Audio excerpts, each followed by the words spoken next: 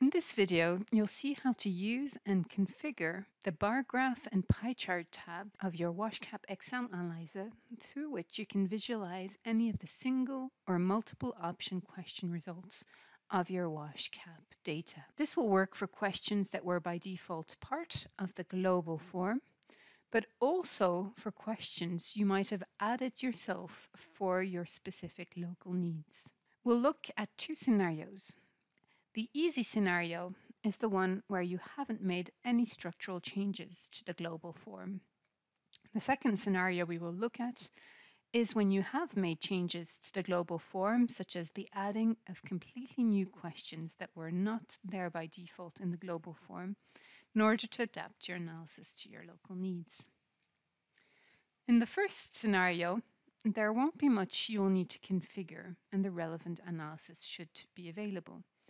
This is the configuration tab that is specific to the bar graph and pie chart tabs. So normally everything should work without you needing to modify anything by default.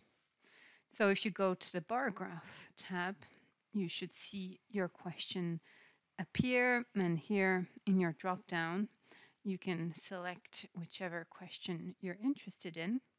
You will notice that if you have very long hints as part of your questions, some of these questions here will not appear properly and you will see hashtag value instead of the full question.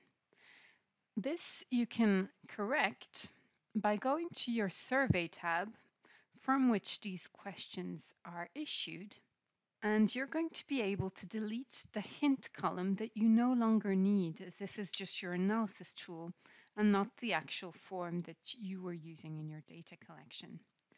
So this hint column that sometimes has a lot of text and therefore makes the questions much longer, you can simply delete, which means that when you go back to your bar graph tab, your questions have been shortened because they don't have the hint information anymore.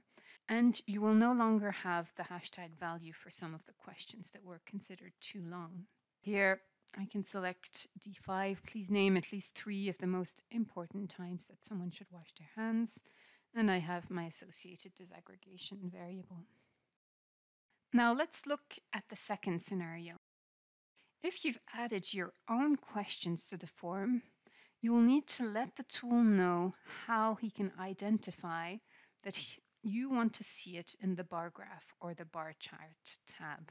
For this, you will need, again, to go back to the survey tab where your questions were defined. What you will need to do is search for the analysis column that you will see towards the end of your form.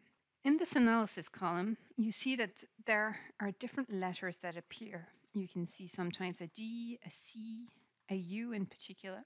And these are the settings that help say whether you will see your data in the bar graph pie chart tabs or if they are disaggregation variables. You will find the specificities of these letters in the WASH KAP analysis manual, but to give you a very quick overview, if you have a D in the column it means that this is a disaggregation variable that you will therefore be able to see here in the list.